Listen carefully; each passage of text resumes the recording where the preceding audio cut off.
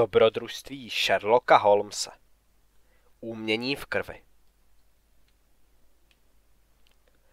První část. Z temnoty. Stanovil jsem si vysoký cíl zemřít raději vyčerpáním, než nudou. Thomas Carlyle. Kapitola první. Roznětka můj drahý přítel Sherlock Holmes kdysi řekl.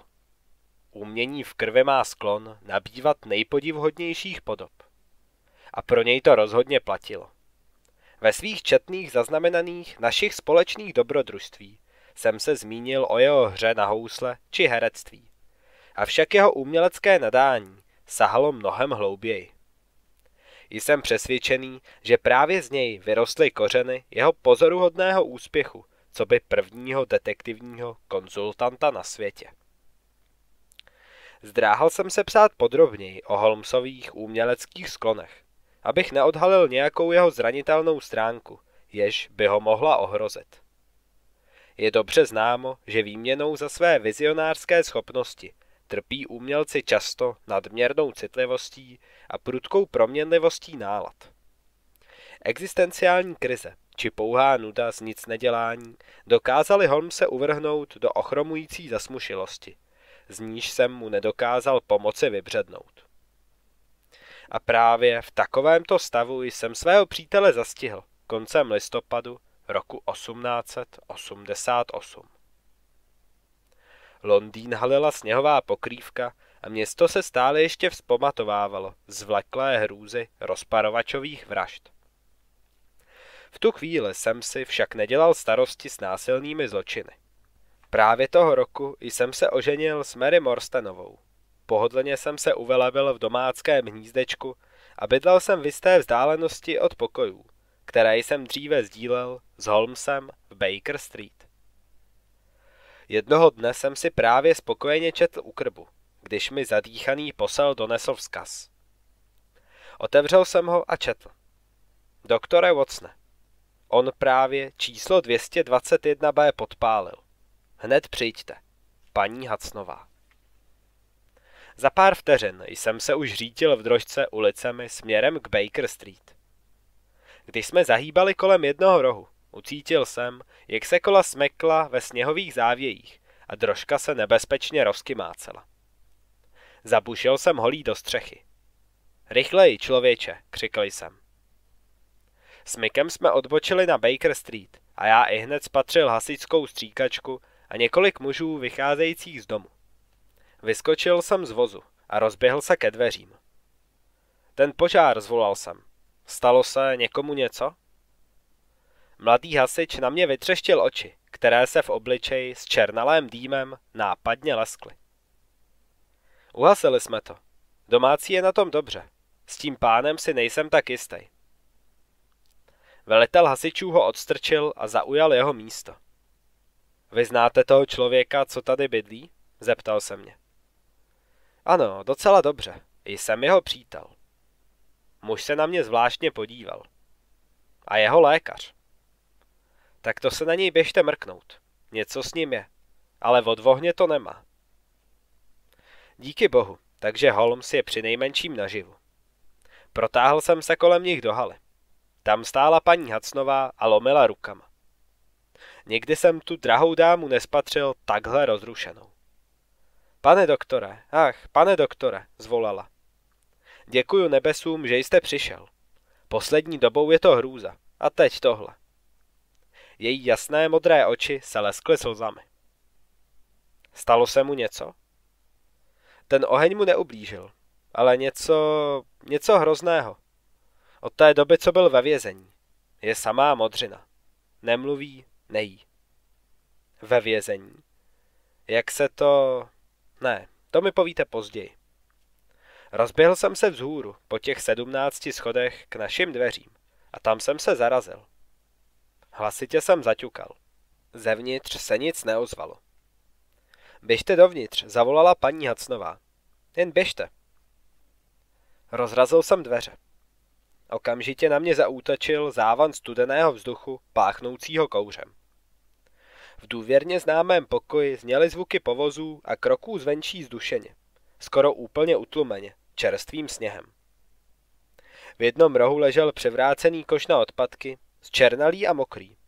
Opodál se na zemi válel suhelnatělý papír a kousek závěsu schořel a nyní z něj visely promáčené cáry. A pak jsem ho uviděl.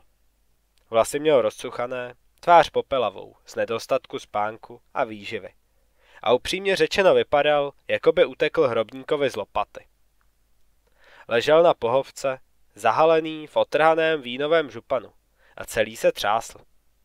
V nohách měl zmuchlanou starou červenou přikrývku a teď ji rychle vytáhl nahoru a zakryl si tvář.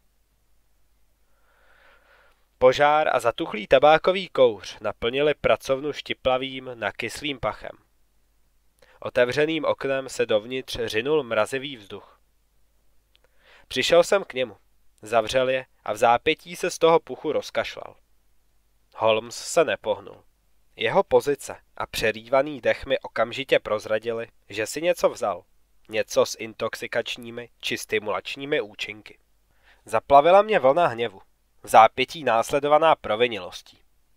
Užíval jsem si novomanželského blaha a uplynulo pěkných pár týdnů od chvíle, kdy jsem svého přítele naposledy navštívil, nebo s ním promluvil. Holmes vlastně celkem nedávno navrhl, abychom spolu zašli na koncert, jenže kromě společenského života ženatého muže jsem měl plné ruce práce s vážně nemocným pacientem a zapomněl jsem odpovědět. No tak, Holmesy, oslovil jsem ho. Ten požár, povězte mi o něm. Žádná odpověď. Vyrozuměl jsem, že jste byl nakrátko uvězněn. Proč? Proč jste mi nevzkázal? Nic. Holmesy, trvám na tom, abyste mi odpověděl. Co se děje? Ačkoliv jsem teď ženatý, víte přece, že se na mě můžete obrátit, když se stane něco jako... Když se... Když... Zajíkl jsem se. Ticho. Sevřela mě plíživá nevolnost. Odložil jsem si svrchník a pověsil ho na staré známé místo vedle jeho kabátu. Vrátil jsem se k němu. Potřebuju pochopit, co to mělo být s tím požárem, řekl jsem tiše. Spod odrbané pokrývky se vynořila tenká paže a neurčitě mávala. Nehoda. Blesku rychle jsem ho uchopil za ruku a přitáhl se ji ke světlu. Byla, jak říkala paní Jacnová, posetá modřinami. A navíc se po ní táhla jedna hlubší řezná rána.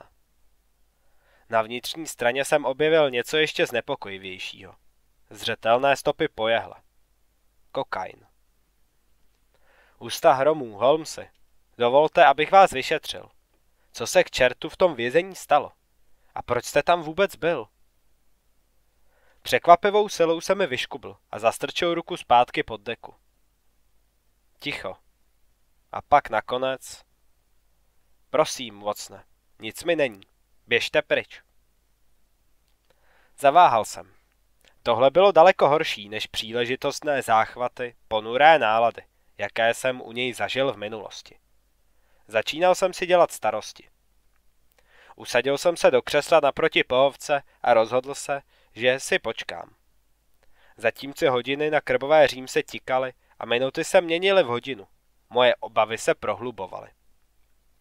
O něco později se dostavila paní Hacnová se sendviči, ale Holmes si odmítl vzít na vědomí. Když pobíhala po místnosti a vytírala vodu, která tam zůstala po hasičích, křikl na ní, ať jde pryč.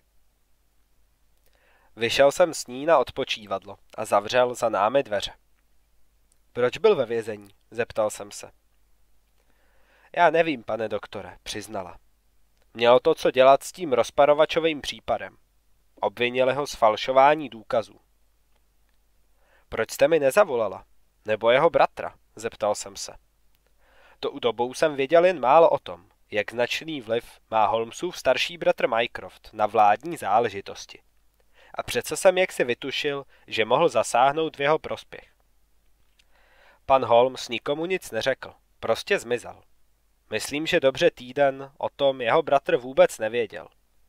Samozřejmě ho pak hned pustili, ale škoda už byla nadělaná.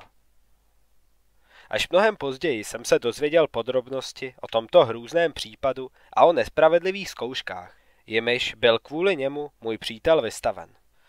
Nicméně jsem odpřisáhl, že o této záležitosti pomlčím a tak musí zůstat otázkou, kterou se jednou budou zabývat dějepisné knihy. Řeknu pouze, že můj přítel celý případ značně osvětlil, což jistí lidé v nejvyšších vládních kruzích považovali za na nejvýš nevítané. To je však úplně jiný příběh. Vrátil jsem se ke své vigilej. Plynuly hodiny a já ho nedokázal přimět, aby vstal, aby se mnou promluvil, ani aby se najedl. Nejibně spočíval na pohobce a mně bylo jasné, že propadl nebezpečné depresi. Ráno se překlopilo do odpoledne. Když jsem stavěl na stolek poblíž Holmse šálek čaje, náhodou mi padl zrak na nějaký papír, který se tam povaloval. Zdálo se, že jde o zmuchlaný osobní dopis. Tišej jsem rozložil spodní část a přelétl očima podpis. Mycroft Holmes. Rozložil jsem zprávu úplně a přečetl si. Hned přijď. Záležitost H P vyžaduje tvoji okamžitou pozornost. Složil jsem list a zastrčil jsem ho do kapsy. Holmesy, řekl jsem. Dovolil jsem si... Spalte ten dopis. Ozvalo se spod pokrývky ostře. Na to je tu moc mokro, opáčil jsem. Kdo je ten H lomeno P? Váš bratr píše... Říkám, spalte to. Už nic nedodal a zůstal se zakrytou tváří ležet bez hnutí. Jak večer postupoval, rozhodl jsem se, že v čekání vytrvám a zůstanu přes noc. Buď se nají, nebo se zhroutí. A já budu po ruce, jako jeho přítel a jeho lékař, abych pozbíral trosky. Ano, byly to ušlechtilé myšlenky, nicméně krátce poté jsem usnul. Na zítří jsem se probudil časně z rána, přikrytý stejnou červenou dekou. V tu chvíli jsem si uvědomil, že pochází z mé někdejší ložnice. Stála nade mnou paní Hacnová a držela podnos s čajníkem a dalším dopisem. Podlouhlým, světle růžovým. Z Paříže, pane Holmesy, oznámila a zamávala na něj obálkou. Žádná odpověď. Zadívala se na Holmse a nesnědené včerejší jídlo, zavrtěla hlavou a vrhla na mě ustaraný pohled. Už to jsou čtyři dny, pane doktore, pošeptala mi. Udělejte něco. Položila tác na stolek vedle mě. Pomačkaná postava na pohovce na ní odmítavě mávla vyhublou paží. Nechte nás, paní Hacnová, zamumlal Holmes. Dejte mi ten dopis, Watsone. Domácí odešla a cestou na mě povzbudivě kývla. Já sebral obálku z podnosu a podrželi mimo dosah. Nejdřív se najeste, nakázal jsem. S vražedným pohledem se vynořil ze své kukly. Nadspal si do úst sušenku a zahlížel na mě přitom jako navstekané děcko. Odtáhl jsem obálku ještě dál a přivonil si k ní. Odměnil mě neobvyklý a příjemný parfém. Zjevně vanilka a ještě něco jiného. Ach, vydechl jsem rozkoší, ale to už se Holmesovi podařilo vyškubnout mi dopis z ruky a v zápětí vyplevl tu sušenku. Pečlivě si obálku prohlédl, pak ji odtrhl, vytáhl list papíru a rychle ho přeletěl pohledem. Ha, co si o tom myslíte, Vocne? Jeho bystré zelené oči kalilo vyčerpání, ale zářila v nich zvědavost. Dobré znamení. Převzal jsem od něj list. Když jsem papír rozkládal, všiml jsem si, jak se Holmes váhavě dívá na čajník. Nalil jsem mu šálek, šplíchl do něj trochu brandy a podal mu ho. Napijte se, pobídl jsem ho. Dopis nesl pařížskou známku se včerejším datem. Napsaný byl zářivě růžovým ingoustem na kvalitním papíře. Prohlédl jsem si křehký rukopis. Je to francouzsky, oznámil jsem a vrátil list Holmesovi. A skoro nečitelné, i kdyby to francouzsky nebylo. Tu máte. Netrpělivě po dopisu sáhl a oznámil. Písmo, s naprostou jistotou ženské. Vůně. Ach, květiny, ambra a náznak vanilky. Myslím, že je to nový parfém od Guerlaina, který vyvíjí pod názvem Jicky ale dosud ho neuvedli na trh. Ta zpěvačka, neboť tak se sama označuje, musí být úspěšná, nebo při nejmenším hodně obdivovaná, že se jí podařilo získat lahvičku s předstihem. Holmes se posunul k lepšímu světlu u krbu a začal přečítat s divadelním patosem, kterým jsem se čas od času bavil a jindy ho aspoň trpně snášel. Francouzsky uměl plyně, takže překlad byl pro něj hračka. Milý pane Holmesy, píše. Vaše pověst a uznání, jehož se vám nedávno dostalo od mé vlády, mě přiměli k tomu, abych k vám vznesla tuto neobvyklou prozbu. Potřebuji vaši pomoc ve vysoce osobní záležitosti. Ačkoliv působím v Paříži jako koncertní zpěvačka a jako takovou mě patrně považujete za osobu nižší kasty. Kasta, to je na kabaretistku zvláštní slovo. Snažně vás prosím, abyste mou prozbu zvážil. Och, tohle nepřečtu. Ingoust je příliš bledý. Holmes zvedl dopis k plynové lampě nad naším krbem. Všiml jsem si, že se mu třese ruka a sotva se drží na nohou. Přistoupil jsem k němu, abych mu mohl číst přes rameno. Dále tu stojí. Píši vám v nesmírně naléhavé záležitosti, jež se týká jednoho vašeho význačného krajana a otce mého syna. Zde ta dáma přeškrtla jméno, ale připadá mi, že to je... Co to, Hrome? Přidržel list ke světlu blíž a zmateně se zamračil. Před našima očima se odehrávalo cosi podivného. Ingouce z papíru začal ztrácet tak rychle, že jsem si toho ze svého místa za holsem všiml i já. Holmes zaklel a okamžitě zastrčil list pod polštář na pohovce. Pár vteřin jsme počkali a potom ho vytáhl a opět jsme se na něj podívali. Papír byl naprosto prázdný. Hrome, řekl. To je nějaký druh mizejícího ingoustu, zvolal jsem. Ale přítel se na mě úkosem podíval a okamžitě mě tím umlčel. Otec jejího syna? Řekl jsem místo toho. Stihl jste přečíst jméno té význačné osoby? Ano, odpověděl Holmes, strnulý jako socha. Hrabě z Pellinghamu. Užasle jsem se posadil. Bellingham patřil k nejzámožnějším šlechticům celé Anglii. Byl to muž, jehož štědrost a nesmírný vliv ve sněmovně lordů, nemluvě o jeho pověsti velkorysého lidumila a sběratele uměleckých děl, z něj udělali osobu, jejíž jméno znal prakticky každý.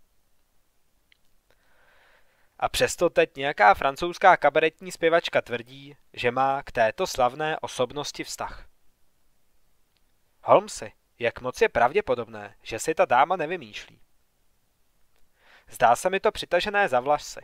Ačkoliv...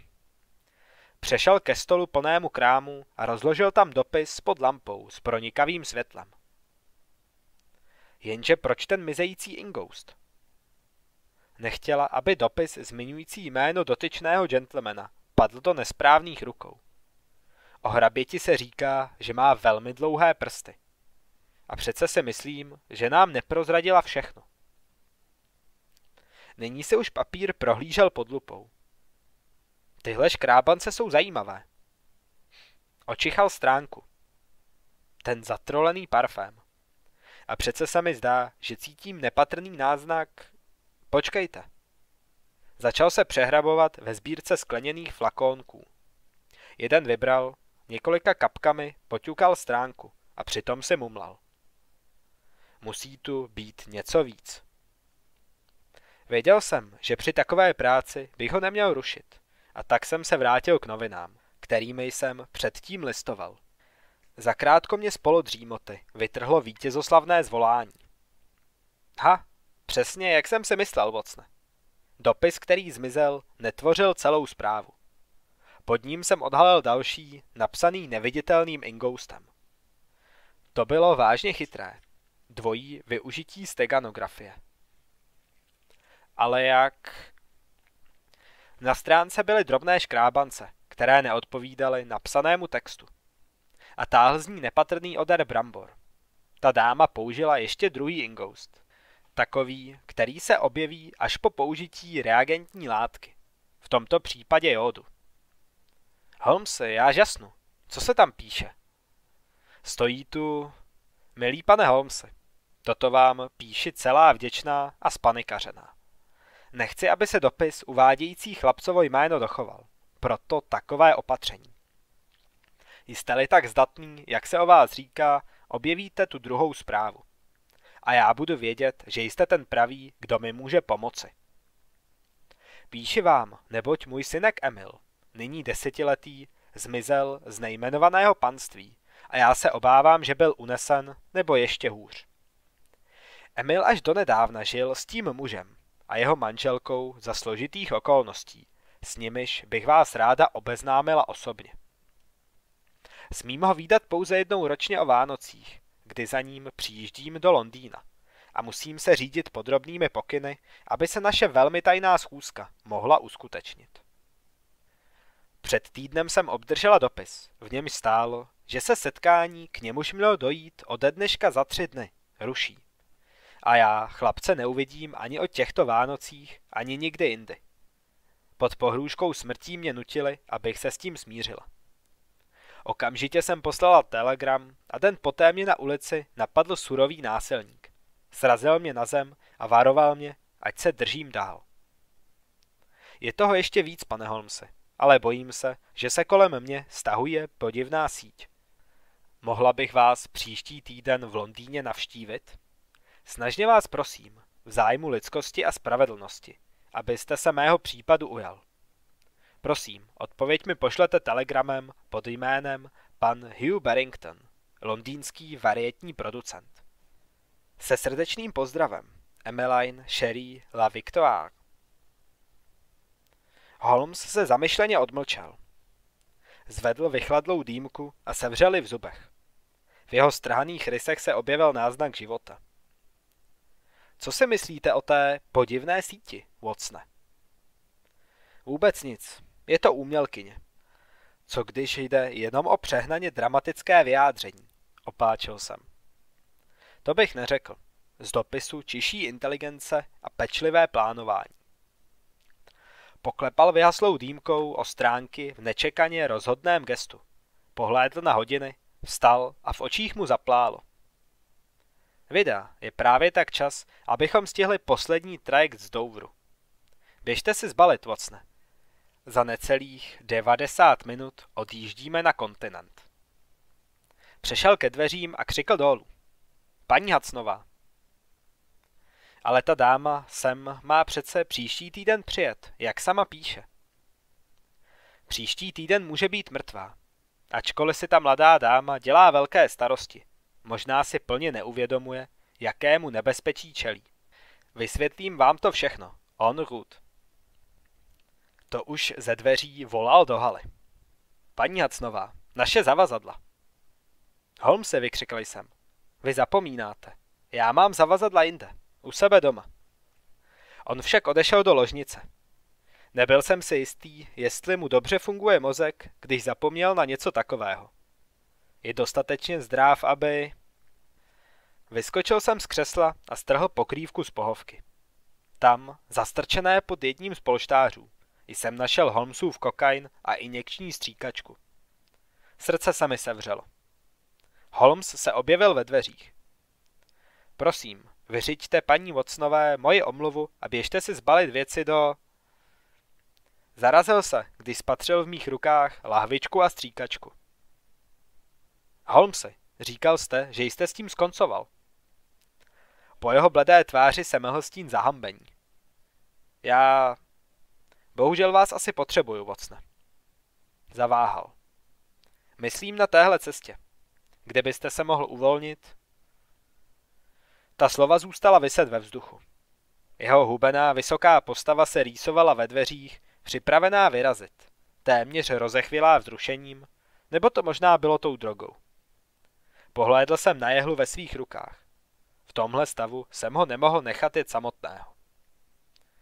Musíte mi slíbit, Holmesy. Už žádný kokain. Ne, tentokrát to myslím vážně. Nemůžu vám pomoct, když si nechcete pomoct sám. Krátce přikývl. Vrátil jsem stříkačku do pouzdra a zastrčil si ji i s tím kokainem do kapsy. Máte štěstí. Mary zítra odjíždí na venkov navštívit matku. Holmes zatleskal jako děcko. Výborně, Watsone, zvolal. Vlak Čedhemských železnic odjíždí do Douvru z Viktory na nádraží za tři čtvrtě hodiny. Vezměte si sebou revolver. Po těch slovech vyběhl po schodech a zmizel. Chvilku jsem počkal. A ty sendviče, křikli ještě zhora. Usmál jsem se. Holmes je zpátky. Stejně jako já, v dobrém i ve zlém.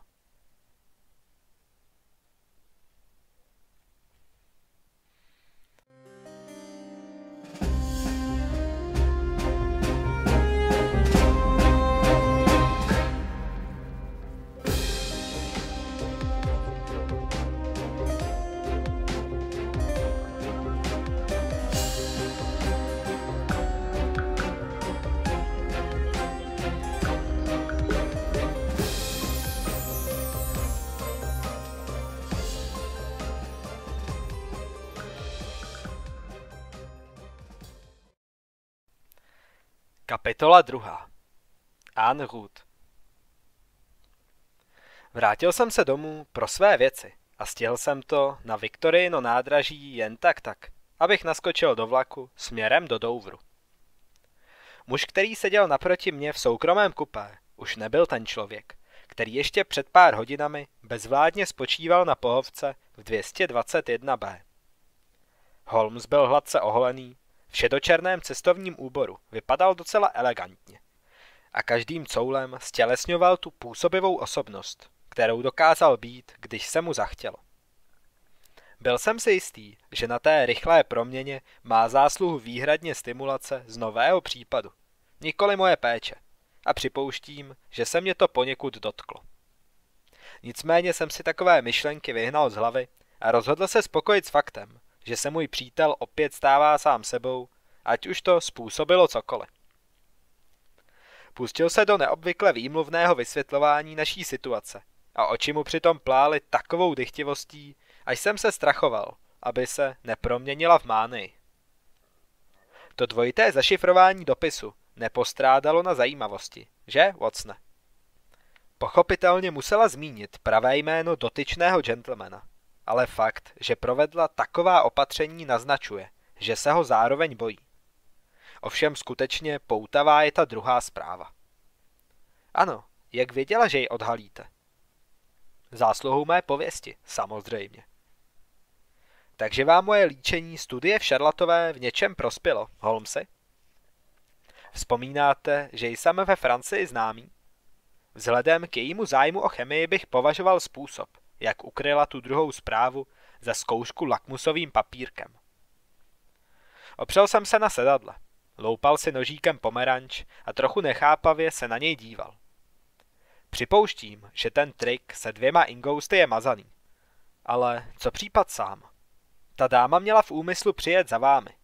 Proč tedy ten spěch a naše výprava do Paříže?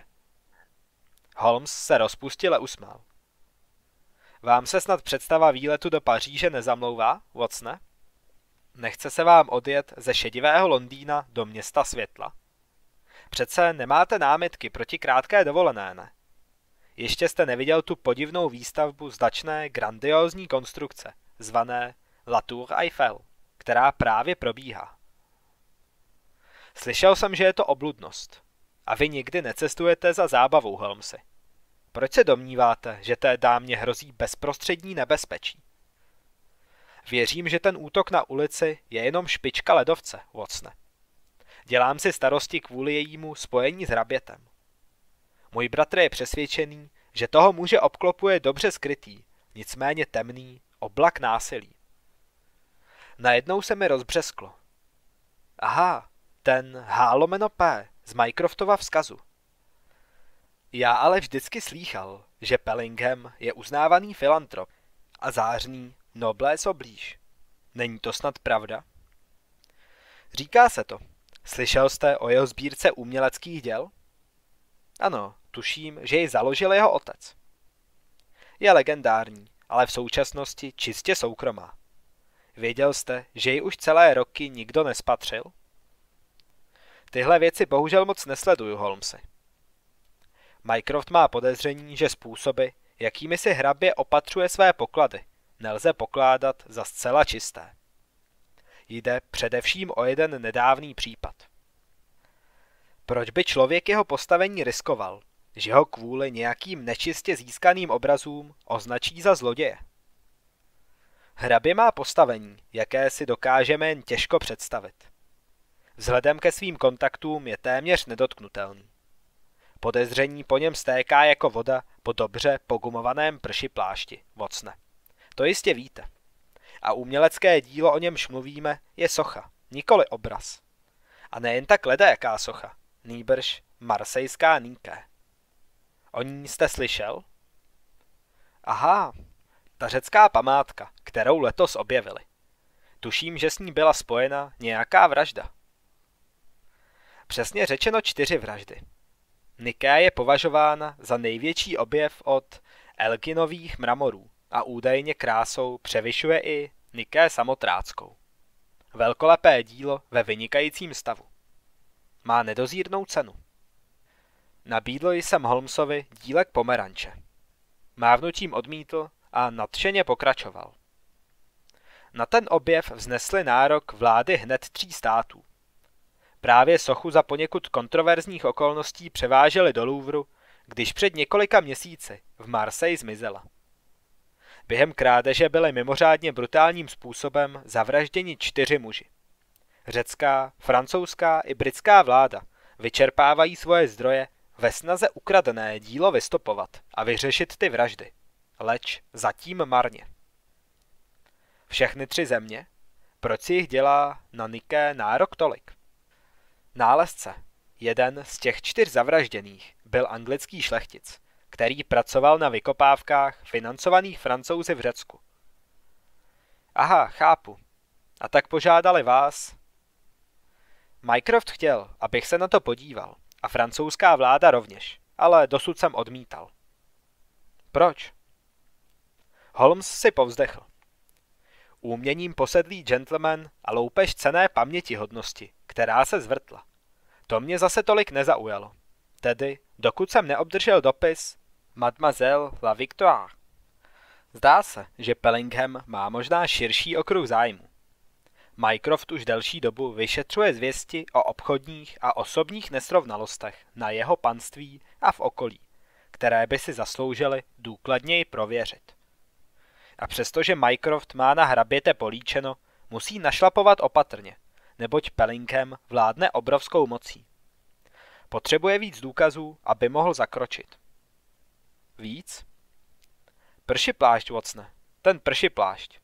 Mycroft by musel pokus o vyšetřování zdůvodnit a mademoiselle Emmeline LaVictor nám může poskytnout entré do světa pana hraběte. Na kratičko jsme se odmlčeli a zadívali se z okénka na krajinu, jež se míhala kolem a matněla ve slábnoucím světle. Nad ní se rozkládala nadtažená obloha, která zvolna tmavla. V dálce se blízkalo. Pro plavbu přes kanál to nevěstilo nic dobrého. Obrátil jsem se zpátky k Holmesovi. A je tu taky to dítě. A tu dámu někdo napadl. Přesně tak. Každopádně je vyděšená, soudě podle jejího dopisu. Ovšem, její žádost, abych svou odpověď zamaskoval, naznačuje, že ji někdo sleduje.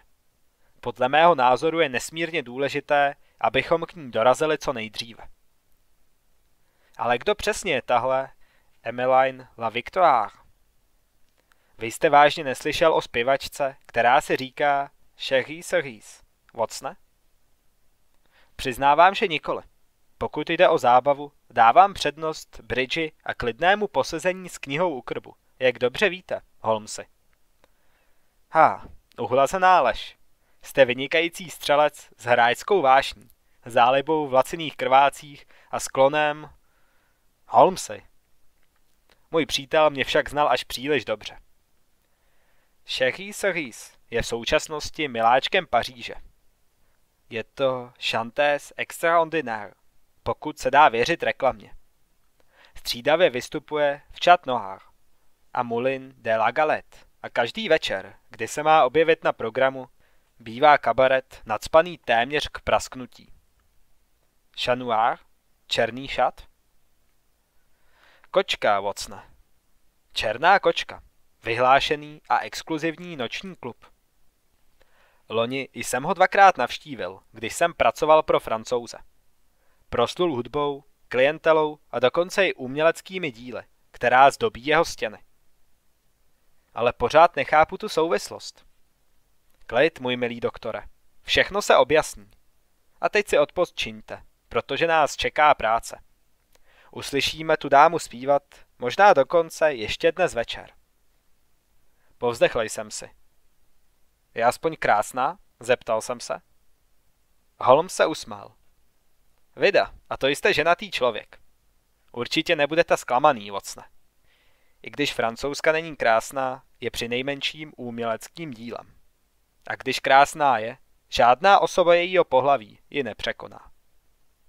Po těch slovech si stáhnul klobouček přes oči, opřel se na sedadle a okamžitě usnul.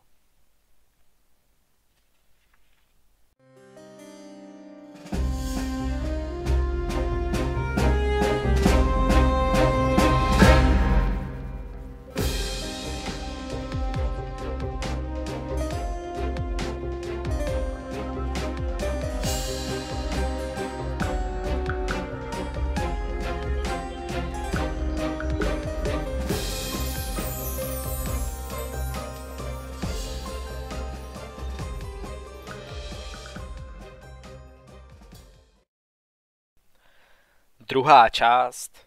Město světla. Umění se rodí z pozorování a zkoumání přírody. Cicero. Kapitola třetí. Setkání s klientkou. Nakonec jsme byli nuceni strávit noc v Douvru, ve společném stísněném pokoji v hotelu nadspaném cestujícími, kteří tu všichni uvízli kvůli sílící bouři. Holmes nakrátko vyklouzl do plískanice a odeslal několik telegramů, včetně jednoho určeného Mademoiselle La Victoire. Naše klientka nás nyní očekávala o jedenácté příštího dopoledne ve svém bytě. Když jsme vyšli z Gare du Nord, vydali jsme se zasněženými ulicemi, skrze stromořadí, zdobená girlandami křišťálových rampouchů a pomalu jsme se prodírali k pahorkům Montmartu.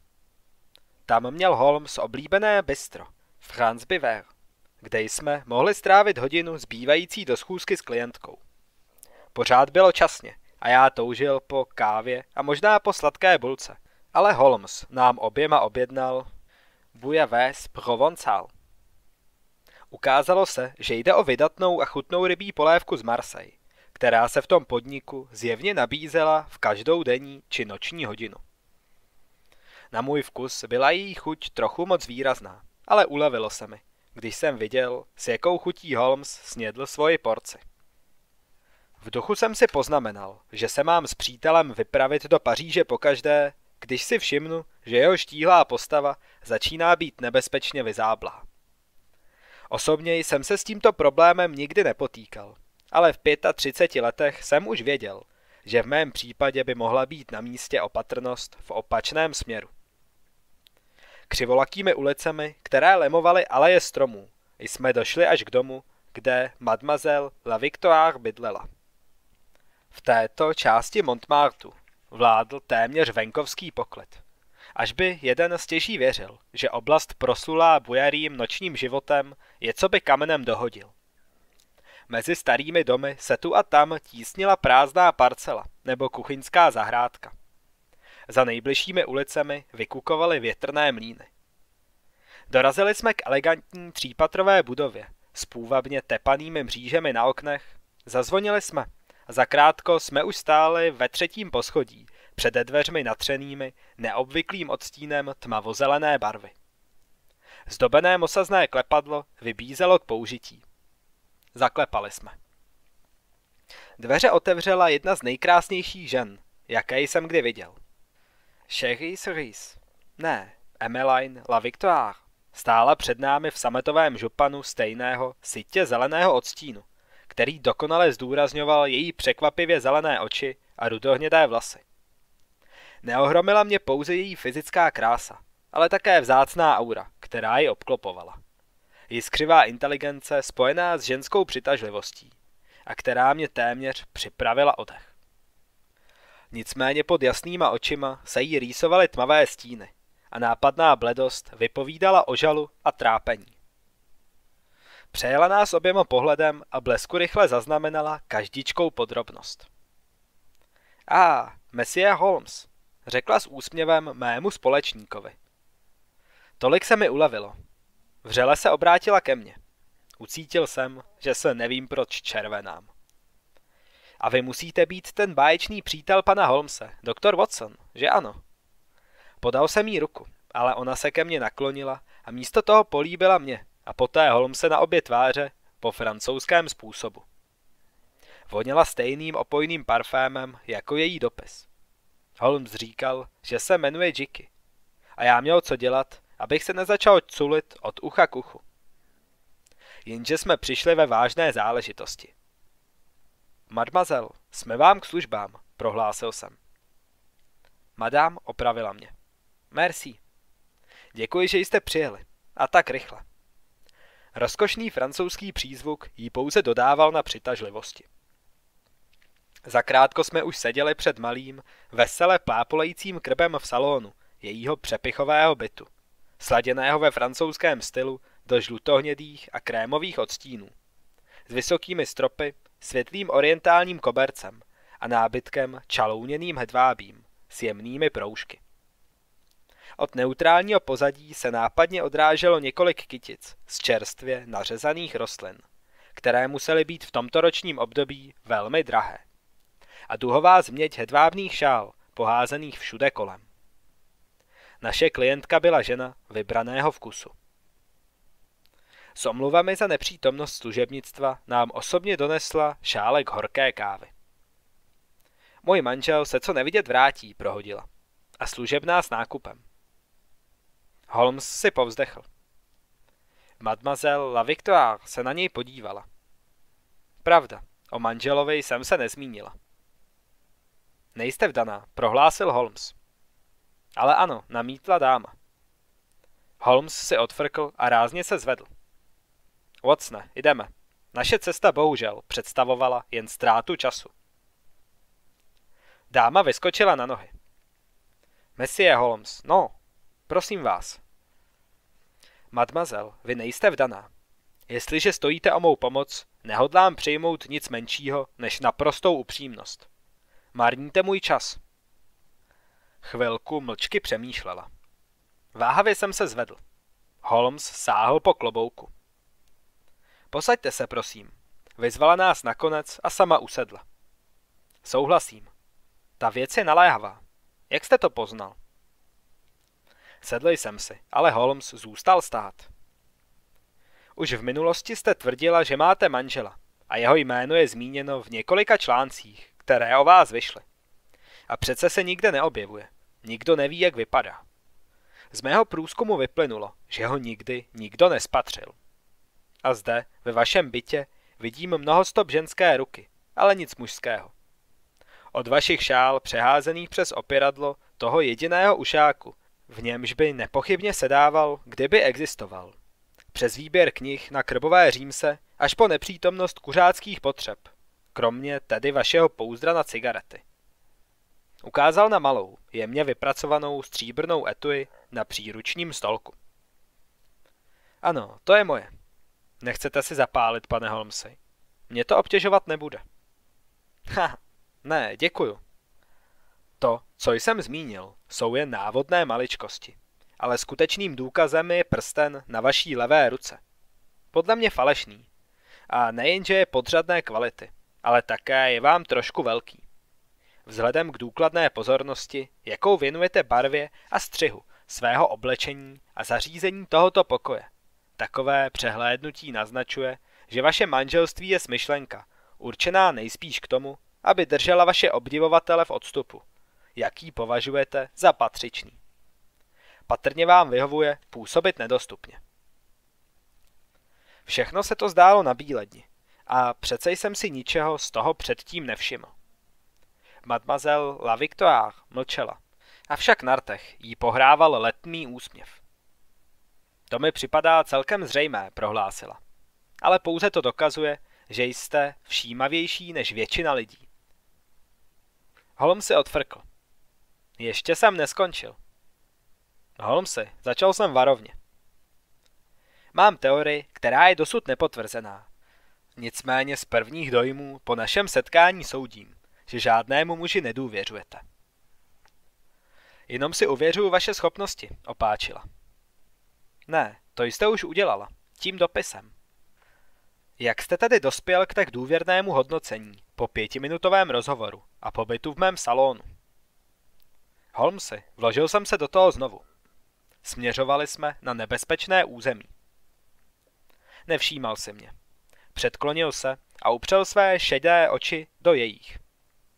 Jste úmělkyně, podle pověsti skvělá a proto jste rovněž bouřlivá, vrtkavá a zranitelná náhlými rozlety fantazie či záchvěvy zoufalství. Váš hudební talent, spojený s mimořádným citem pro barvy a vybraným vkusem, který se projevuje jak ve zdejším zařízení, tak ve vašem osobním stylu, je výrazem hluboce vnímavého naturelu plně rozvinuté úmělkyně. Svou na nejvýš citlivou povahu maskujete rázným a inteligentním vystupováním. Nejde však o pouhou masku. Schopnost kritického myšlení vám umožnila vybudovat si samostatně úspěšnou kariéru navzdory těmto osobním slabinám. Nicméně klamete sebe samu. V hloubi srdce a v jádru své osobnosti jste bytost ovládaná city. Jsem umělkyně. Umělci jsou citově založení. Na tom není nic objevného. Odsekla ostře. Jistě, ale o to mi nešlo, prohlásil Holmes. Odložil jsem šálek zpátky na talířek, až to zacinkalo. Káva.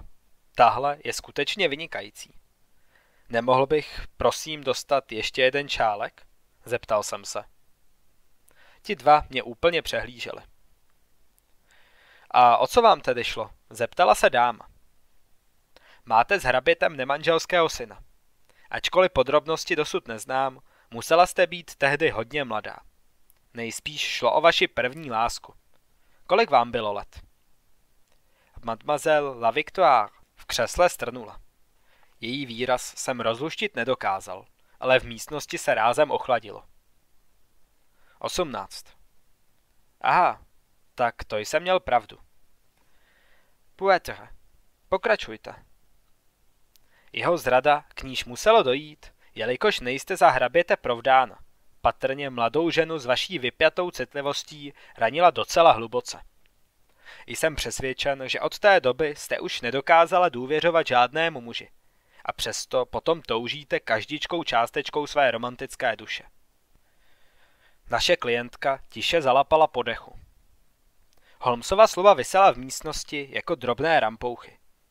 Občas si neuvědomoval, jak moc dokáže slovy ranit. Nicméně mademoiselle La Victoire se okamžitě vzpamatovala. Bravo, pane Holmesy, řekla s úsměvem. Vypadá to, jako byste byl s tímto tématem dobře obeznámen. Neměl jsem předem žádné informace. Ach, nu, chtěla jsem říct, že mluvíte z vlastní zkušenosti. Po tváři se mu myhl záblesk překvapení. To sotva. A teď bychom se měli věnovat naší záležitosti a proskoumávat fakta vašeho případu. Samozřejmě, odvětila dáma. Oba se usadili pohodlněji, uklidnili se a měřili si jeden druhého s čím si, co připomínalo zdráhavý obdiv špičkových boxerů před utkáním. Uvědomil jsem si, že nervózně poposedávám na krajíčku židle. Odkašlal jsem si, zavrtěl se a pokusil se uvolnit. Nedá si někdo cigaretu? Navrhl jsem. Ne, odpověděli unizono. Holmes začal.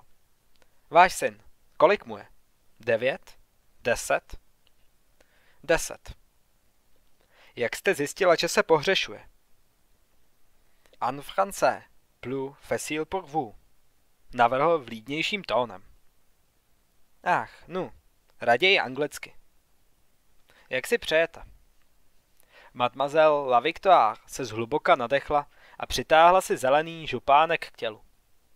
Každé Vánoce vídám Mon Petit Emil v Londýně, v hotelu Brown. Přivádí ho tam jeden muž, prostředník. Vždycky spolu poobědváme v jejich půvabné čajovně. Jen Emil a já. A já mu dám dárky.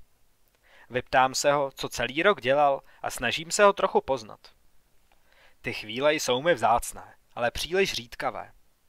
Letos byla schůzka zrušena. Napsala jsem, poslala telegram. Žádná odpověď. Nakonec jsem se od toho prostředníka dozvěděla, že Emil je se strýčkem u moře a nějakou dobu tam zůstane. Ale vy pochybujete, že je to pravda. Emil žádného strýčka nemá. Ty každoroční návštěvy probíhaly už od chlapcova narození. Ano, taková byla dohoda, kterou jsem s jeho otcem uzavřela. A jeho otec je Harold Beecham Kay, nynější hrabě z Pallinghamu? Ujistil se Holmes. Ano. Začněte prosím od začátku. Popište toho chlapce. Emilovi je deset let. Na svůj věk je malý. Útlý. Jak malý? Asi takhle vysoký. Mademoiselle La Victoire zvedla dlaň přibližně metr dvacet nad zem. Světlovlasý stejně jako jeho otec, ale má moje zelené oči. Tiché dítě se sladkou tvářičkou. Miluje hudbu a knihy. A za koho ten chlapec považuje vás? Domnívá se, že jsem rodinná přítelkyně, bez příbuzenských vztahů. Doprovází hrabě chlapce do Londýna? Emila, ozval jsem se. Jmenuje se Emil. Nu, Harolda, totiž hraběte jsem neviděla už od... Selhal jí hlas. Působila otřeseně. Všiml jsem si, že Holmes potlačil netrpělivý povzdech. Tak kdo vodí Emila do Brownu? Bellinghamův komorník Pomeroy. Je francouzského původu a velmi laskavý. Chápe, co je mateřská láska. Její fasáda náhle popraskala a ona se prudce nadechla, aby zamaskovala vzlik. Nabídl jsem jí svůj kapesník. Vděčně ho přijala a zvedla si ho k očím. S Holmesem to nepohnulo. Já si však byl jistý, že její city jsou upřímné. Snažila se trochu vzchopit. Musím vám to vysvětlit. Před deseti lety jsem byla chudá pařížská zpěvačka. Prožili jsme tři dny lásky. Mluvili jsme o sňatku. Nevěděla jsem, že je můj milenec hrabě, natož, že už má manželku. Ale potom... Ano, ano, jistě. Přeskočíme v čase. Takže ten komorník Pomeroy ovšem ví. Co se letos stalo? Vyštěkl. Holmesy, okřikl jsem ho znovu. Dáma byla očividně nesmírně rozrušená. Prosím, pokračujte. Naléhal a tón změnil jen nepatrně. Co jste udělala, když jste se dozvěděla, že je vánoční návštěva zrušena? Napsala jsem a dožadovala se vysvětlení. Holmes netrpělivě zamával rukama. A? Přišla odpověď s varováním, že se nemám snažit o kontakt, jinak už Emila nikdy neuvidím. Dopis od hraběte? Nu, s hrabětem nejsem ve styku, osobně ani korespondenčně, od doby, kdy jsme uzavřeli tu dohodu. Dopis byl od jeho sluhy Pomeroje. A žádného dalšího vysvětlení nebo kontaktu se vám nedostalo? Odepsala jsem a poslala třetí telegram, ale zůstal bez odpovědi. Co vám zabránilo odjet na Pellinghamovo panství a prověřit situaci osobně? Zeptal se Holmes příkře. Teď si tu cigaretu rád vezmu. Dáma mu nabízela ze svého pouzdra. Popleskal se po kapsách ve snaze najít zápalky. Jednu jsem vytáhl a připálil mu. Tohle všechno se seběhlo velmi nedávno, pane Holmesy, odpověděl. Původní dohoda zněla, že kromě těch vánočních návštěv se nebudu pokoušet o žádné další styky s Emilem. Takové byly podmínky. Jenže druhá strana dohodu porušila. Odsekl Holmes. Nenapadlo vás, že by váš syn mohl být mrtvý? Není mrtvý. Mademoiselle La Victoire vstala a očí plály. Není mrtvý. Nevím, jak to vím, Monsieur Holmes. A můžete to analyzovat, nebo se tomu pošklebovat. Jak je libo? ale jako matka prostě dokážu vycítit, že můj syn je naživu. Musíte mi pomoct. Potřebuju, abyste zakročil. Mademoiselle, ještě jsme neskončili. Holmesy, oslovil jsem ho jemně. Těmi drsnými otázkami dámu rozrušujete. Zdá se, že zatím neznáme ani polovinu příběhu. A přesně v tomto vězí. Nemůžu vám pomoct, dokud nebudu znát nejen polovinu, ale celou tu historii, prohlásil Holmes. Prosím, posaďte se, abychom mohli pokračovat. Sedla si a znovu se ovládla. Kdo na panství pana hraběte ještě ví, že Emil je váš syn? Lady Pellinghamová. Holmes se v křesle překvapeně opřel. Manželka hraběte, ta americká dědička. Ona zná celý příběh. Ví, že chlapec je syn jejího manžela? Ano. A přijala ve svém domě nemanželského potomka svého muže? Víc než to. Je Emilovi matkou. Velmi ho miluje a on její city opětuje. Emil si vlastně myslí, že ona je jeho matka. Zlomil se jí hlas a věta skončila vzliknutím. To pro vás musí být velmi těžké, řekl jsem. Pokračujte, vyzvali Holmes. Zpočátku mě to trápilo, odpověděla a mluvila přitom ke mně. Nesmírně, ale pak jsem si uvědomila, že takhle je to nejlepší. Lady Pellinghamová je laskavá žena, která přišla o dítě při porodu, skoro ve stejné době, kdy se narodil Emil. Mého malého Emila potají vyměnili za mrtvé novorozeně a zbytek světa věří, že je to potomek hraběcího páru. Emil zdědí panství a stane se příštím hrabětem z Pellinghamu. Takže jistě chápete... Chápu, přerušili Holmes, opět příkrý. V mnoha ohledech je to velmi výhodné ujednání. Dáma stuhla. Považujete mě za zlatokopku? Řekla. Ne, nepovažuje, ozval jsem se, ale Holmes mi skočil do řeči. Považuji vás za praktickou ženu. Praktickou to ano. V době, kdy došlo k adopci, jsem byla chudá umělkyně a nemohla jsem Emilovi nabídnout vzdělání ani žádné výhody. A život s koncertní zpěvačkou by pro malé dítě znamenal pohybovat se v prostředí plném nebezpečí, špatných vlivů. Představte si nemluvně v zákulisí. Ano, ano, jistě. Napsala jste, že vás někdo napadl, mademoiselle La Victoire. Přerušili Holmes. Což je přesně důvod, proč jsme zde. Prosím, popište nám ten útok. Došlo k tomu přesně den poté, co jsem odeslala hraběti poslední telegram. Na ulici ke mně přistoupil nějaký vagabund. Hrubě do mě strčil a oháněl se přitom nějakým podivným, dlouhým nožem. Popište mi ho. Byl velmi zvláštní. Připomínal naběračku, ale hrot měl zašpičatělý do jakéhosi ostří. Vysvětlila naše klientka.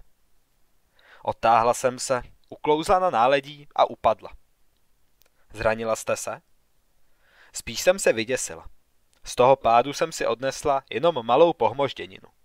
Ale bylo tam ještě něco jiného. Co? Vyjadřujte se přesně. Když jsem upadla, ten muž mi pomohl vstát. Holmes se dychtivě předklonil. Aha, promluvil na vás? Co přesně řekl? Když mi pomohl na nohy, přitiskl mi to divné ostří ke krku a řekl, že bych se měla raději mít na pozoru. To jsou přesně jeho slova? O hraběti se nezmínil? Ne, výslovně ne, řekl. Držte se od toho dál, nebo někdo umře. Jeho přízvuk. Anglický, americký, řecký, francouzský, připustila. Ale bylo mu špatně rozumět. Mluvil hodně tiše. Připadalo vám cokoliv na tom muži, na jeho oblečení, hlase, případně na jeho zbrani, něco povědomé? Ani trochu. Obličej tomu člověku stínil široký klobouk. Smrákalo se a hustě sněžilo. Zřetelně jsem ho neviděla.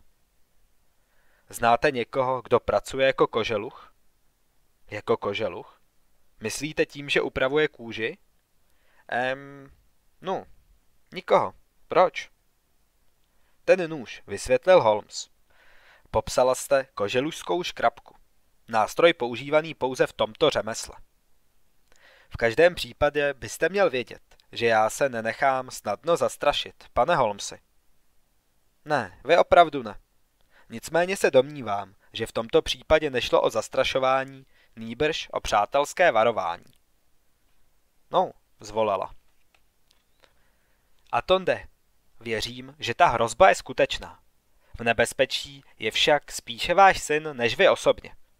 Je však možné, že právě vaše pokusy ho najít by vás mohly oba ohrozit.